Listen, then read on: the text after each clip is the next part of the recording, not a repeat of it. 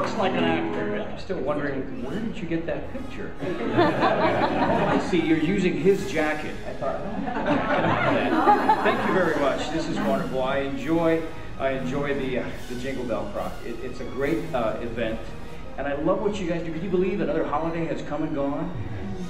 I hope you've had some time to rest up and get ready for the next holiday coming up. But looking forward uh, to it. Thank you uh, for all the hard work and all that you do for our community.